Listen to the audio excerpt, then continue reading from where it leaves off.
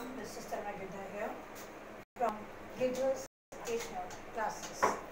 I'm here again in front of you with a lesson for class 10 from the book Footprints Without Feet and the name of the chapter is A Triumph of Surgery. There are three characters in the story. Mrs. Pumphrey, a very, very rich lady, her dog Tricky, and a veterinary surgeon, Mr. James Herriot. James Herriot has written this story. Mrs. Pumphrey is a very rich woman. She has a dog. She loves her dog very much, just like her own son, Tricky. He's an over-pampered and overfed animal by her mistress. Very bad habit of Tricky is to eat anything in any amount at any time. He's ready to eat every time, any time. Mr. Herriot goes to Mrs. Pumphrey at regular basis to give medical checkups to Tricky. Herriot has noticed that Tricky is gaining weight excessively.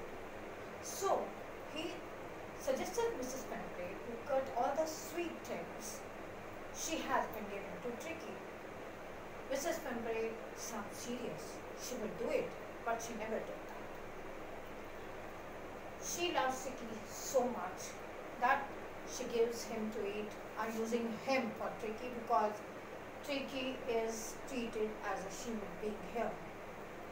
She gives him cakes, puddings, chocolates, three proper meals, brandy and wine and eggs and so many. He has so many clothes according to the weather, according to the seasons. He has many cushions. Mrs. Pumphrey takes special care that cushion under his head must be changed after every one hour to make him sleep sound. He has so many toys to play with, but he never plays. Only servants play for him. One day when Herriot was coming from somewhere, we saw Mrs. Pumphrey stopped her car, took out Picky, uh, Tricky, put him on the ground, walked a few steps, picked up Tricky and went back towards the car. Herriot saw Tricky. He was in a very bad state. He had become into a big sponge. His body is so heavy. His legs are not visible. His tummy is touching ground. His tongue is hanging out of his mouth. His eyes are red. He's panting. He's not able to walk. He's just rolling on the ground. He rushed there and asked Mrs. Pumphrey. Mrs. Pumphrey said, Sir, he is not feeling well. I have taken him for a walk. Herriot tried to sound serious to her and ordered her to cut his food short and give him a lot of exercise. Mrs. Pumphrey, son, yes, she will do it. Herriot knew very soon he will be called. And the time came, very soon a call came from Mrs. Perry, uh, Mrs. Pumphrey that Tricky was not eating anything. He was doing vomitings. He was not able to move even. Herriot knew what the condition was and he has already decided what to do. He rushed to the spot and saw really Tricky was in a very bad state. He was doing a lot of vomiting. He was not able to move. He just said to Mrs. Pumphrey that he has to be taken to the hospital to recover him first. Mrs. Pumphrey said she can't live without him. The dog will die if he does not see his mistress. But Herriot did not care for. him. He started taking her, Tricky with him. Mrs. Pumphrey was crying loudly. All the servants were uh, bringing his belongings like his coats, his cushions, his bowls for morning meal, afternoon meal, evening meal, and night meal, his choice, and all these things were thrown into the doctor's car. He didn't wait. He just took Tricky from there to surgery.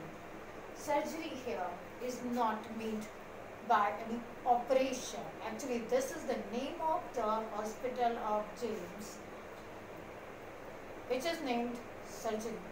When doctor brought him there, all the dogs, uh, other dogs who were living there came to Tricky. They tried to make him walk or play with them, but Tricky was not able to move. They left him and went away. Herriot made a place for him for two days. Nothing was given to Tricky to eat. He was given a lot of water. As you know, it is said that water is the best fat cutter. After two days, Tricky started showing some interest in his surroundings. He wanted to come out to play.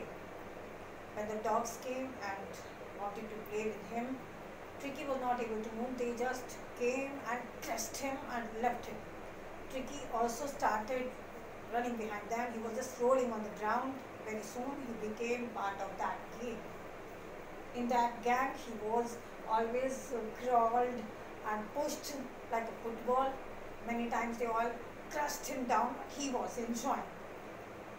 He was given normal no cakes, no puddings, no eggs, no luxurious food was given to him, only balanced diet and a lot of water.